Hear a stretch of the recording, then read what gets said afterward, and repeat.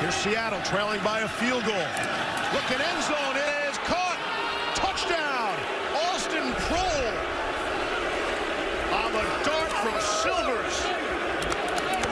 And it's the first touchdown of this new XFL. Seattle takes the lead. Hey, good shit. So here's the point after touchdown. One, two, or three. What do you want to do, Coach Zorn? You can get one point from the two, two points from the five, and I don't think we're going to see a lot of three-point attempts from the 10 until you get in the fourth quarter trailing. A lot of strategy. a lot of strategy. So Zorn's going to play it safe here to start from the two. Two-point conversion success attempt. The NFL is about 50%. Drops down to about 30 from the five-yard line. So going for the one-point play from the two-yard line.